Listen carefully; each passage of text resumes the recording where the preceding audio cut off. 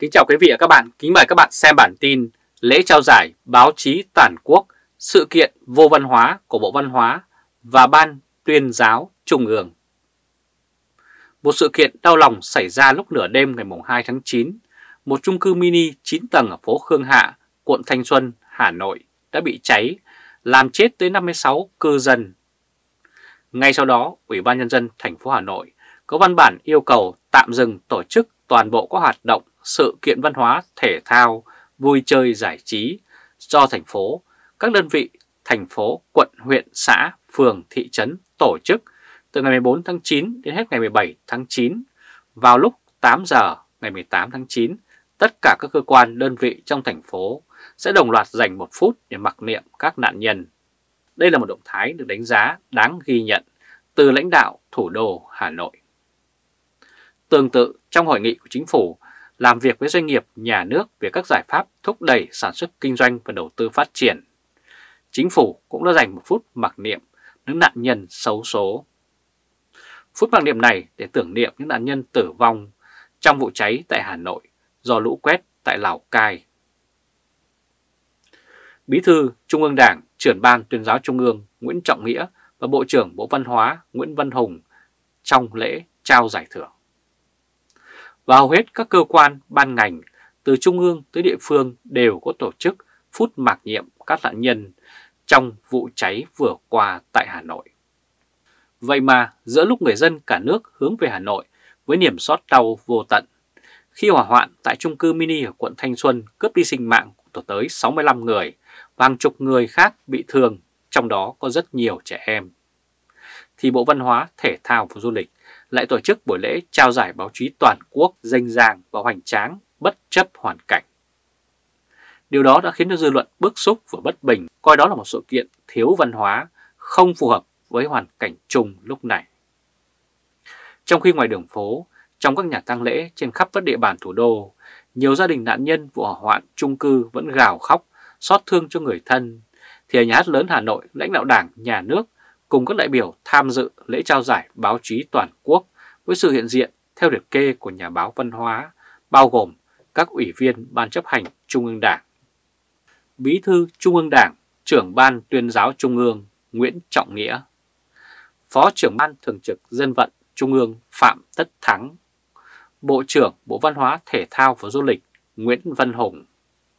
Phó trưởng Ban tuyên giáo Trung ương, Tổng biên tập Báo Nhân dân, Chủ tịch Hội Nhà báo Việt Nam Lê Quốc Minh, vân vân.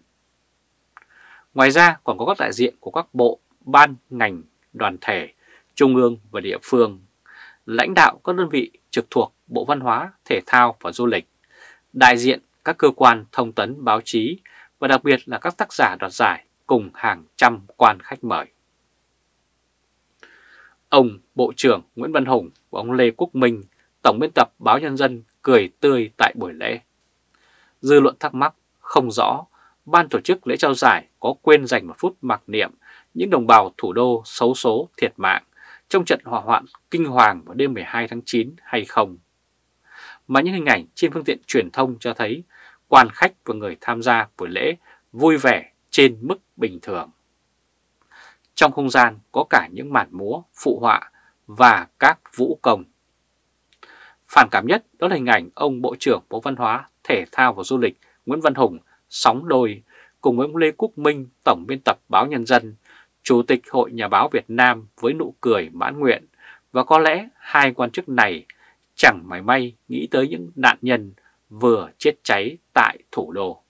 Trong khi đó, trên mạng xã hội Facebook, không ai bảo ai, cư dân mạng rất nhiều người đã đồng loạt thay hình đại diện bằng các băng để chia sẻ nỗi đau với các gia đình các nạn nhân trong thảm họa.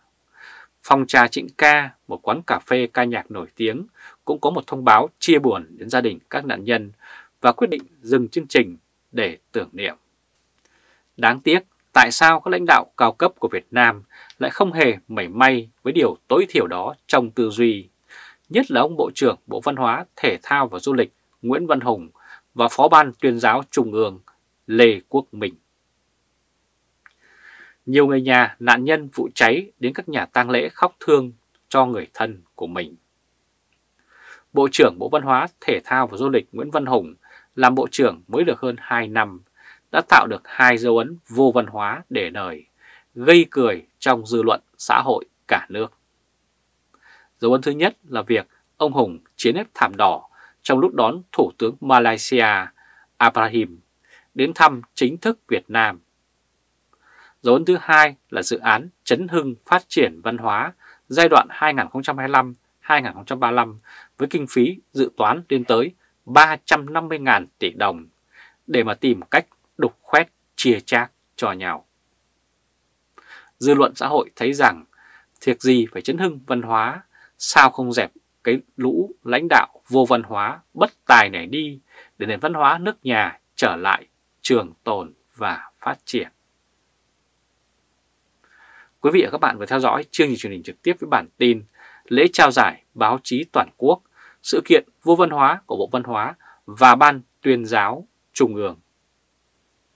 Quý vị và các bạn hãy chia sẻ video này cho nhiều người biết và bấm nút theo dõi YouTube và Facebook của Thời báo.de để luôn được cập nhật những bản tin mới nhất, nhanh nhất và trung thực nhất.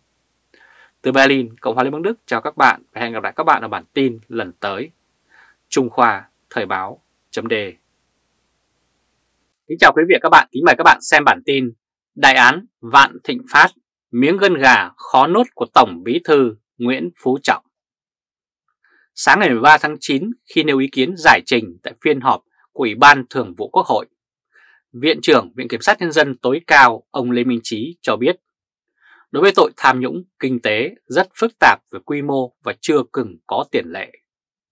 Ông Trí lấy ví dụ như vụ án Vạn Thịnh Phát liên quan đến ngân hàng, chứng khoán, kể cả phát hành trái phiếu, ảnh hưởng rất lớn đến nguồn lực quốc gia. Nhưng do có nhiều trở ngại nên vẫn chưa đưa ra xét xử được.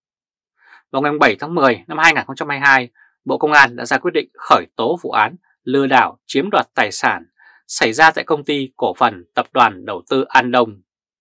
Đồng thời, Công an đã bắt tạm giam 4 bị can, trong đó có bà Trương Mỹ Lan, Chủ tịch Hội đồng Quản trị Công ty Cổ phần Tập đoàn Vạn Thịnh Phát và các thành viên Hội đồng Quản trị của Ngân hàng SCB. Viện trưởng Viện Kiểm sát Nhân dân tối cao Lê Minh Trí nêu rõ vụ án Vạn Thịnh Phát. Theo kết quả điều tra ban đầu, các bị can đã gian dối trong việc phát hành, mua bán trái phiếu để chiếm đoạt hàng ngàn tỷ đồng của người dân trong giai đoạn 2018-2019 trong đó chỉ riêng công ty An Đông đã chiếm đoạt khoảng 25.000 tỷ đồng, tức là tương đương khoảng 1 tỷ đô la. Tại cuộc họp báo chính phủ thường xuyên diễn ra chiều ngày 29 tháng 10 năm 2022 khi được hỏi về kết quả điều tra ban đầu, tướng Tuân Sô thừa nhận vụ án xảy ra tại công ty cổ phần tập đoàn đầu tư An Đông với bị can là bà Trương Mỹ Lan cùng đồng phạm là vụ án rất khó với lực lượng thực thi pháp luật trong quá trình tố tụng, các bị can và một số người liên quan đã qua đời do đột tử. Điều này tất nhiên sẽ gây thêm khó khăn cho quá trình điều tra. Và lãnh đạo đảng, nhà nước cũng thống nhất đây là vụ án khó, khó nhưng mà phải làm, càng khó càng phải quyết tâm làm. Tuy đề cấp đến có bị can và một số người liên quan qua đời do đột tử, nhưng tướng Sô không giải thích hoàn cảnh tử vong, địa điểm cũng như danh tính của những người bị đột tử này. Bà Trương Mỹ Lan và cựu bí thư Lê Thanh Hải Thông tin từ người phát ngôn của Bộ Công an đã cho thấy rất rõ vụ án Vạn Thịnh Phát có nhiều dấu hiệu mở ám, bất thường, hết sức nghiêm trọng phía sau nó. Đó là cái chết khó hiểu của ông Nguyễn Tiến Thành, Chủ tịch Công ty Chứng khoán Tân Việt, thành viên Hội đồng Quản trị Ngân hàng SCB của Vạn Thịnh Phát. Ông Thành là chồng của bà Tống Thị Thanh Hoàng, Phó Tổng Giám đốc Tập đoàn Vạn Thịnh Phát. Ông Thành chết một ngày trước khi bà Trương Mỹ Lan bị bắt giữ. Bí ẩn nhất là cái chết của bà Nguyễn Phương Hồng, trợ lý của công ty tập đoàn Vạn Thịnh Phát, thành viên hội đồng quản trị của ngân hàng SCB, là người cùng bị bắt cùng ngày với bà Trương Mỹ Lan. Bà Hồng đã chết không rõ lý do trong lúc đang bị tạm giam. Những vụ việc vừa kể trên cũng tương tự xảy ra vào tháng 1 năm 2014 khi đó. Lúc đấy, trong phiên tòa xét xử vụ án Vinalai, bị cáo Dương Trí Dũng khai rằng ông Dũng đã giúp bà Trương Mỹ Lan chuyển 1 triệu đô la cho Thượng tướng Phạm Quý Ngọ, Thứ trưởng Bộ Công an để nhờ tướng Ngọ giúp Vạn Thịnh Phát được thực hiện dự án tại Khánh Hội, quận 4. Sau lời khai đó của Dương Trí Dũng, tướng Ngọ cũng lăn ra chết một cách bí ẩn. Trước những cái chết trước đây và sau này đã cho thấy có một thế lực rất mạnh bí mật ra tay diệt khẩu, bịt đầu mối.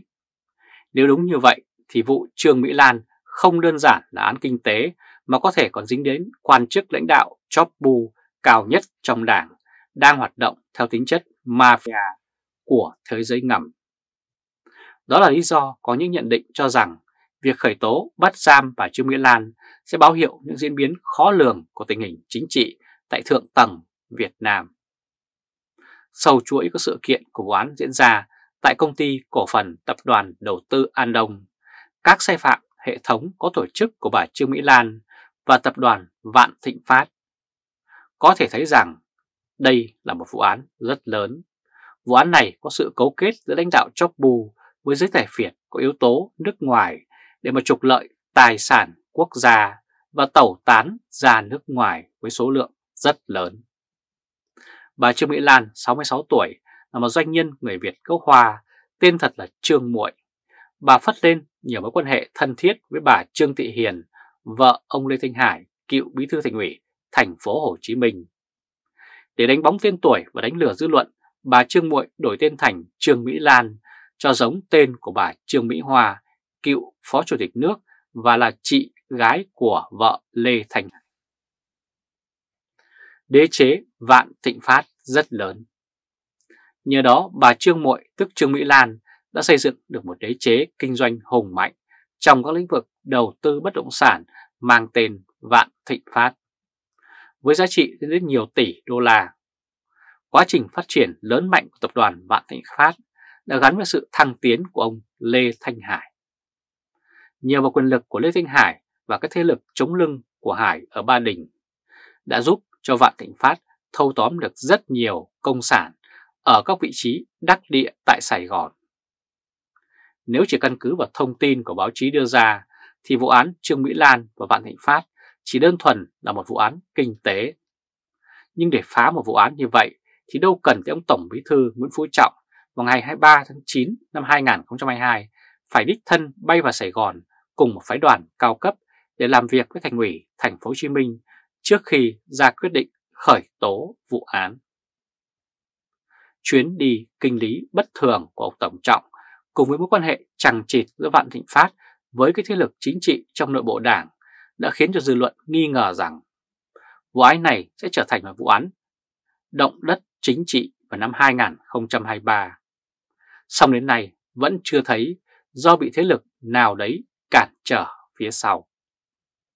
Những thông báo mới nhất từ Viện trưởng Viện Kiểm sát Nhân dân tối cao Lê Minh Trí liên quan đến vụ án Trương Mỹ Lan của Vạn Thịnh Phát khiến người ta nghĩ đến chiếc gân gà mong Tổng Bí Thư có vẻ khó nuốt trôi.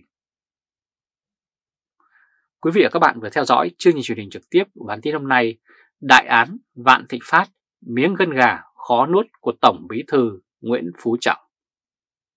Quý vị và các bạn hãy chia sẻ video này cho nhiều người biết và bấm nút theo dõi YouTube và Facebook của Thời báo .de để luôn được cập nhật những bản tin mới nhất, nhanh nhất và trung thực nhất. Từ Berlin, Cộng hòa Liên bang Đức chào các bạn và hẹn gặp lại các bạn ở bản tin lần tới. Trung Khoa Thời báo .de